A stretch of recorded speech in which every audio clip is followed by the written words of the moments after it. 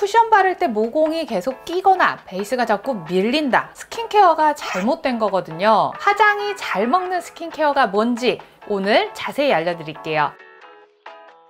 쌈님들 안녕하세요 담스입니다 제가 베이스 리뷰할 때 항상 스킨케어 궁합을 같이 말씀드리는데요 이게 되게 중요해요 피부가 완전 깔끔하게 다 흡수가 되고 난 다음에 발라야 밀착 지속이 잘 되는 쿠션이 있고 약간 수분기가 있는 상태에서 발라야 들뜸이 잡히는 쿠션도 있고 베이스 성격에 맞게 스킨케어를 해주시면 화장이 훨씬 잘 먹거든요 그런데 이렇게 스킨케어하면 화장 절대 안 먹습니다 첫째, 흡수가 안 된 상태. 피부가 척척한 상태에서 쿠션을 바르면 말 그대로 떡이 져요. 쿠션 퍼프의 내용물이 떡지면서 모공 자리에 입자들이 끼면서 말려요. 나는 왜 쿠션 바를 때마다 모공에 끼지? 하시는 분들은 스킨케어 흡수를 더 제대로 해주시거나 지금 쓰시는 스킨케어의 양을 좀 덜어주세요. 그리고 혹시 퍼프가 떡져 있지 않은지 한번 확인해 주시고요. 둘째, 스킨케어를 너무 가볍게 하는 경우 토너 앰플까지 하고 날 더우니까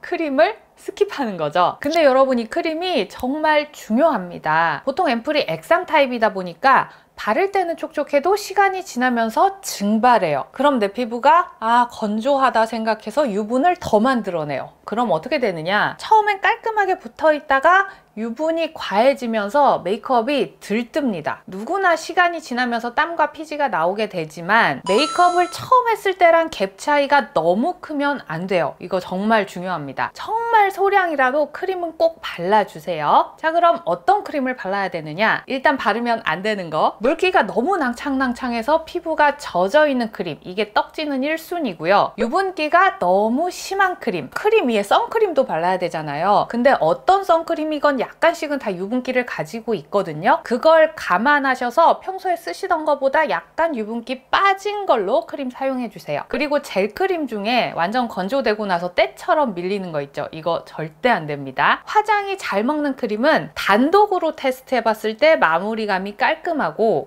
척척한 느낌 없이 쫀득하게 잘 붙어 있으면 되는데 이 크림이 제가 생각하는 화잘먹의 조건을 다 갖췄어요. 스킨푸드 블루 캐모마일 크림입니다. 저는 이거 손등에 짤 때부터 아 이거 좀 다른 수분 크림이다 다르다라고 느꼈던 게 수분 크림에 약간 힘이 있어요. 이렇게 손으로 눌렀을 때 탱글한 거 보이시죠? 너무 물처럼 흐드러지지 않고 그렇다고 묵직한 제형도 아니고 이 밸런스가 너무 좋더라고요. 제가 이 제형 때문에 이 크림 광고를 받았어요. 막 물기 팡팡 터지는 그런 수분 크림도 물론 좋지만 메이크업 전이라면 화잘먹 크림을 골라야 된다라고 한다면 저는 이 제형이 맞다라고 봐요. 사용량은 토너, 앰플, 선크림까지 사용한다는 가정 하에 요만큼만 쓰시면 됩니다. 너무 많이 바르지 않으셔도 되고요. 얇게만 발라도 수분막이 확실하게 쫀득하게 잘 잡혀요. 이 상태에서 선크림 바르고 베이스까지 바르면 이렇게 짭짭 베이스 잘 붙는 거 보이시죠? 저는 이거 양 조절이 너무 어려워요 하시는 분들은 이런 스펀지 있죠? 스펀지로 크림 바르고 스펀지로 선크림까지 발라보세요. 샵에서는 이렇게도 많이 해주시거든요. 메이크업 전에는 이렇게 소량만 쓰고 자기 전에 좀 넉넉하게 바르면 수분팩 한 것처럼 밤새 마르는 느낌도 없더라고요. 스킨케어니까 당연히 성분도 확인해야겠죠. 기본적인 수분 진정 라인입니다. 피부 진정에 좋다는 캐모마일수, 캐모마일 꽃에서 추출한 아줄렌, 수분량 향상해주는 7중 히알루론산 조합, 피부 고민 상관없이 누구나 무난하게 쓸 수 있는 유수분 밸런스 밸런스가 적당한 사계절 크림입니다. 스킨푸드 제품 순한 거는 뭐 다들 아시죠? 피부 자극 테스트, 진정 테스트도 완료했다고 합니다. 제가 생각하는 이상적인 화잘먹 크림 스킨푸드 블루 캐모마일 크림은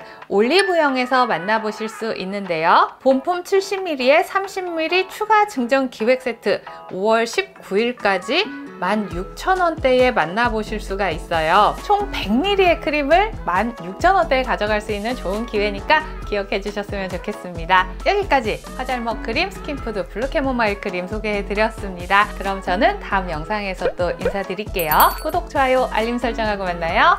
안녕!